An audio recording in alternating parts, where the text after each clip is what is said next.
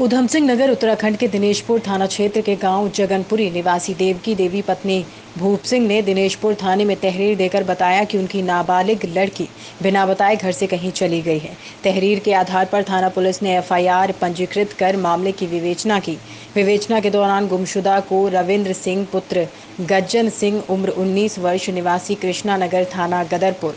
जिला उधम सिंह नगर द्वारा नाबालिग लड़की को बहला फुसलाकर भगा ले जाने का मामला प्रकाश में आया।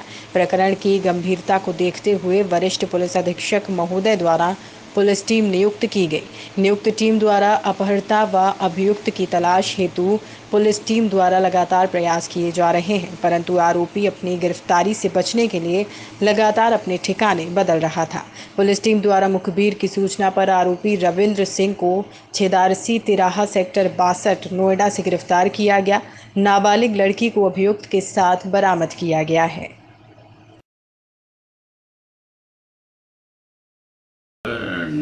डेढ़ माह पूर्व की घटना है, जब वादनी द्वारा तहरीर दी गई थी कि उनकी नाबालिग बेटी को कोई घर से गायब है तो उस पर तुरंत एफआईआर दर्ज करी गई थी और विवेचना प्रचलित की गई। विवेचना में जो तथ्य प्रकाश में आए कि ये व्यक्ति है रविंद्र पुत्र गज्जन सिंह, निवासी कृष्णा नगर, थाना गदरपुर, कि ये इसको भगा के ले गया है।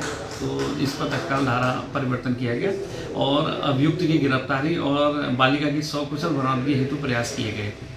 तो उसमें हमने पूर्व में भी दबी से दी थी उत्तर प्रदेश पंजाब और अन्य जगहों में भी दबी से दी थी तो सफलता नहीं मिली थी। अब तत्काल श्रीमान वरिष्ठ पुलिस अधीक्षक महोदय द्वारा इस पर एक टीम गठित की गई अपराध की गंभीरता को देखते हुए।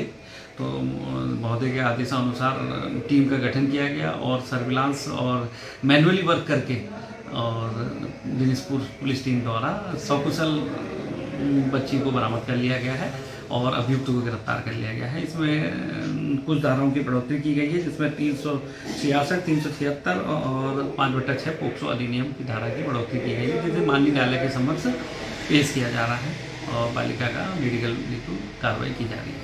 गुड